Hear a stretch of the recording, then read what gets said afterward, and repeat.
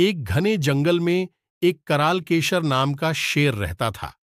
उसके साथ एक धूशरक नाम का गीदड़ रहता था। एक दिन में शेर एक हाथी के शिकार में उससे झगड़ पड़ा। उसी समय वह कई तरह से घायल हो गया और यही नहीं, उसका एक पैर भी टूट गया। वह किसी तरह अपनी गुफा पहुँचा। कई दिनों तक भूखा रहा। वह घायल होने के कारण किसी जानवर का शिकार नहीं कर पा रहा था। तब उसने उसके साथी गीदड़ को कहा कि तुम किसी जानवर को यहाँ लेकर आओ और मैं उसको यहाँ मार दूँगा। उसकी बात सुनकर और हम अपना पेट भर लेंगे। गाँव में घूमने लगा और उसे एक नदी किनारे लंबकर्ण नाम का गद्धा जो पास ही हरी भरी घास खा रहा था। तब वहाँ गीदड़ उसके पास गया और उसे कहने लगा मामा आप यह रूखी सूखी घास क्यों खा रहे हो?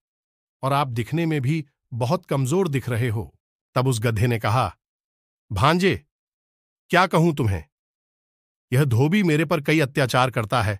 मैं जब भारी माल उठाते कहीं रुक जाता हूँ तो वहाँ मुझे पीछे से बहुत लाठियाँ मारता है और किसी भी तरह का अच्छा भोजन नहीं करवाता। यहाँ तक कि वह मुझे घास भी लाकर नहीं देता। मुझे स्वयं नदी के पास आकर चुन चुन कर खानी पड़ती है। तभी गीदड़ बोला, कि आप जंगल में चलिए वहाँ कोमल घास से भरा हुआ मैदान है। जहाँ आप जितना चाहे, उतना घास खा सकते हो, और इतनी हरी भरी है कि आप कुछ ही दिनों में हष्टपुष्ट हो जाओगे। तभी गधा बोला कि मेरे जैसे शिकार होने वाले जानवर वहाँ कैसे जा सकते हैं? जैसे ही मैं जाऊँगा तो वहाँ पर कोई जंगली जानवर मेरा शिकार कर लेगा। तभी वो गीदड़ बोला कि वह इलाका मेरा है। वहाँ मैंने कई अत्याचार सहने वाले गधों को लाकर रखा है। वाह!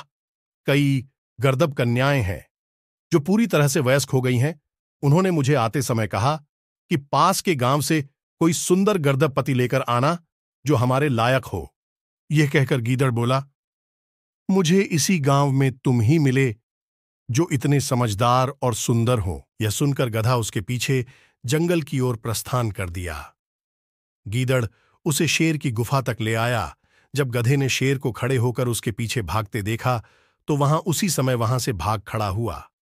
फिर गीदड़ शेर को कहने लगा, तुम यही हिम्मत से हाथी से लड़ने गए थे, जो गधे को भी अपने पंजे में न पकड़ पाया। तभी शेर ने अपनी दबी आवाज़ में कहा कि मैं अभी तक तैयार नहीं हुआ था। इसीलिए वहाँ गधा मेरे पंजे की वार से बच गया, नहीं तो इस बार से कोई हाथी भी ना बच पाए। तभी शेर ने कहा कि तुम अब किसी और जानवर को लेकर आओ, जिससे हम अपनी भूख मिटा पाए।